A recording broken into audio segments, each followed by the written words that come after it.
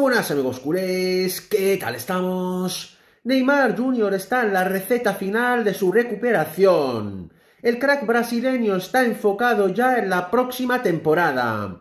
Y pese a que le quedan dos años de contrato con el PSG, los rumores sobre una posible salida este verano no paran de sonar. Atención a esta noticia bomba de última hora.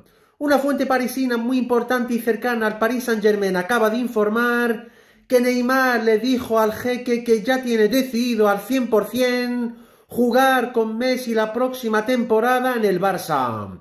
La misma fuente asegura que Nasser El Khelaifi aceptaría el trueque de Rafinha por Ney o una suma de dinero asequible para el club blaugrana. Y al mismo tiempo estaría a punto de cerrar el acuerdo con Vinicius Jr confirmando así el bombazo del mercado de fichajes veraniego con la llegada de Vinicius al PSG y la vuelta de Messi y Neymar al Barcelona.